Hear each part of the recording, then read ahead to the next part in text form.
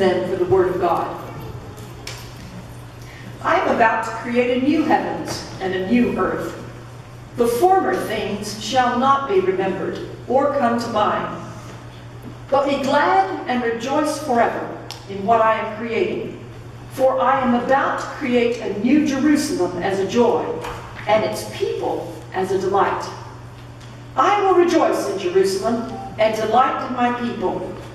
No more shall the sound of weeping be heard in it, or the cry of distress. No more shall there be in it an infant that lives but a few days, or an old person who does not live out a lifetime. For one who dies at a hundred years will be considered a youth, and one who falls short of a hundred will be considered accursed. They shall build houses and inhabit them. They shall plant vineyards and eat their fruit. They shall not build and another inhabit. They shall not plant and another eat. For like the days of a tree shall the days of my people be, and my chosen shall long enjoy the work of their hands. They shall not labor in vain, or bear children for calamity, for they shall be offspring blessed by the Lord, and their descendants as well. Before they call, I will answer. While they are yet speaking, I will hear. The wolf and the lamb shall feed together. The lion shall eat straw like an ox, but the serpent its food shall be dust. They shall not hurt or destroy on all my holy mountain. The word of God for the people of God. Thanks be to God. Do you know those earworms that you get in your head? That piece of a tune that just keeps repeating over and over and over. And it does not help if you go ahead and sing it loud. It's still stuck in your head. Well, when we were working on the musical for September 11th, Nolene had distributed CDs for us to listen to. That's a surefire way for me to get an earworm stuck in my head. And I had one of those earworms from the 9-11 musical in my head for at least a month afterward. I finally came screaming into choir one night. I said, please, please find me a new earworm. And she did. She handed out CDs for the Christmas musical. so now my earworm deals with I feel like Superman in tights. and if you don't think that a Christmas musical can have the phrase I feel like Superman in tights, then you just show back up here in about five weeks on December the 11th, and we will prove you wrong about that. Now, I am not advocating that all earworms are a message from God. I'm not saying that. But it did occur to me that maybe I should go back and listen to that earworm that was playing in my head. So I'm sorry, choir members, I'm about to put it in your head now. But the earworm that I stuck from 9-11 was a phrase used in one of the songs when we were talking about people who serve in the armed forces. And it says, we are living the legacy of the sacrifice they made. We are living the legacy of the sacrifice they made. And I thought, actually, that's a very appropriate earworm for a church to hear. We are living the sacrifice. We are living the legacy of the sacrifice they made. Now, you are living a legacy of a whole lot of sacrifices. And this morning, we're going to name some of them. So, if you're on the end of one of the pews, I want you to either come on the inside here and find there's going to be a name. There'll be a little plaque.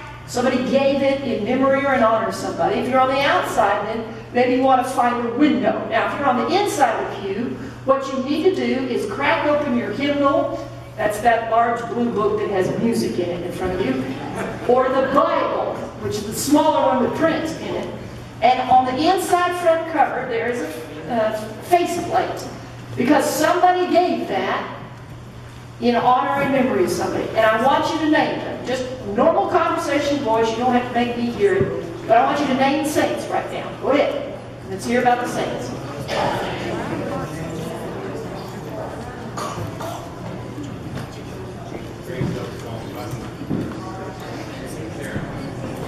Lord of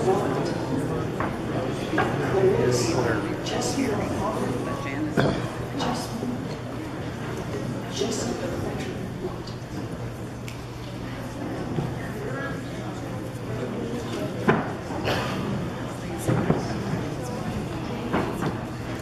Now you see, the Bible says that we are surrounded by a great cloud of witnesses. In this particular church building, you can read the names of some of the cloud of witnesses. In one of my churches, we still used the hymnals and didn't have screens, and so there were families who had gathered the hymnals of the uh, people that they were in memory of who were in their family. And every Sunday, when they opened the hymnal, they understood themselves to be singing praise to God with the family member who had died. It was called, it is called, the Communion of Saints. And it's an understanding that the church is not bound simply by yours and my lifetimes. The church is not bound by human lifetimes. And so some of the names of the people you've read, they've moved, or they found a new church home. But a lot of the names of people you read have died. But that does not mean that their sacrifice has gone in vain.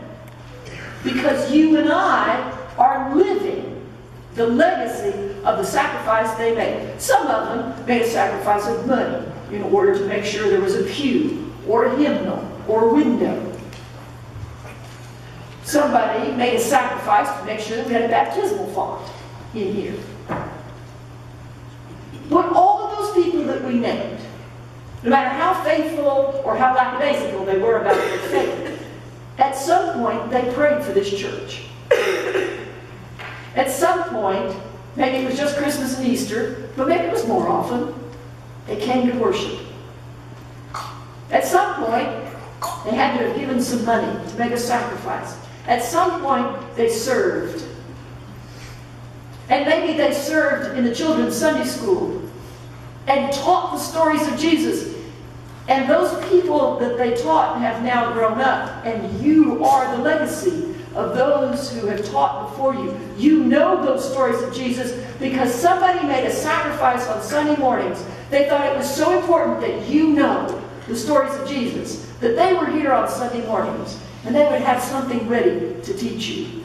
You are living the legacy of the sacrifice they made.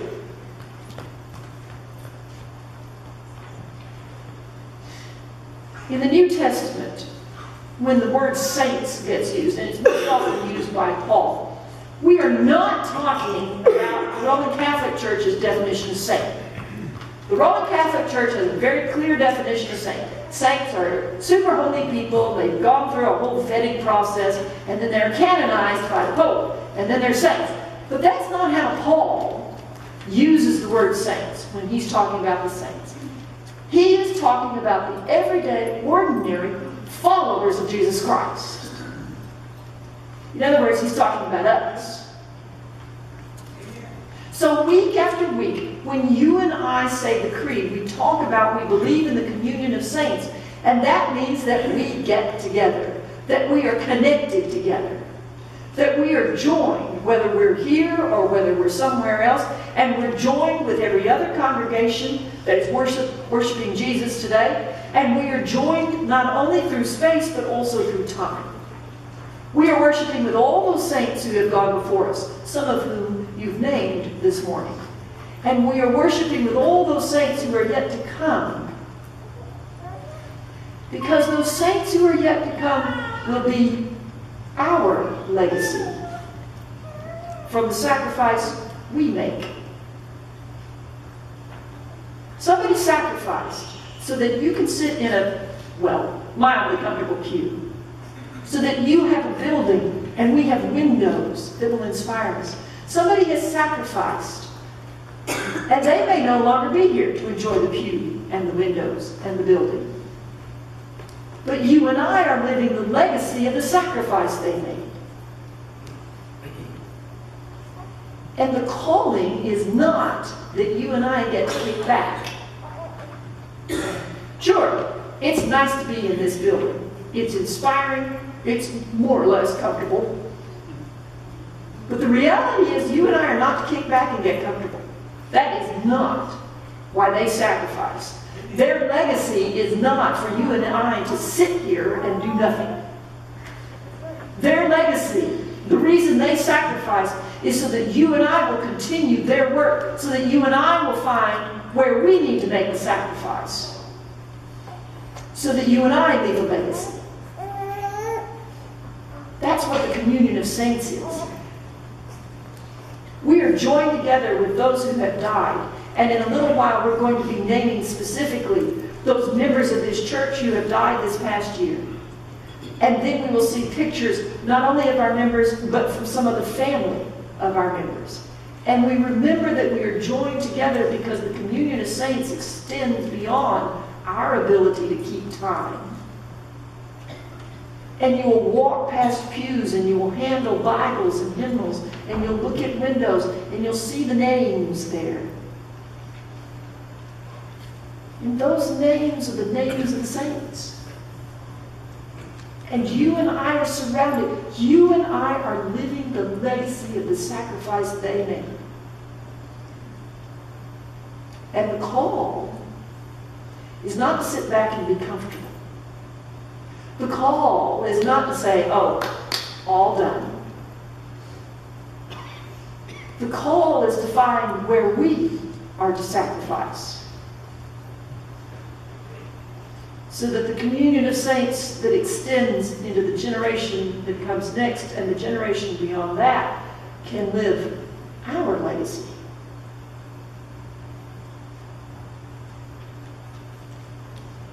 We are living the of the sacrifice they made.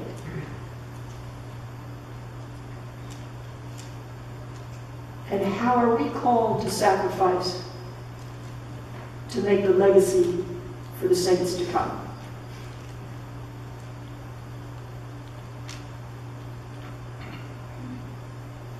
In the name of the Father, and of the Son, and of the Holy Spirit. Amen.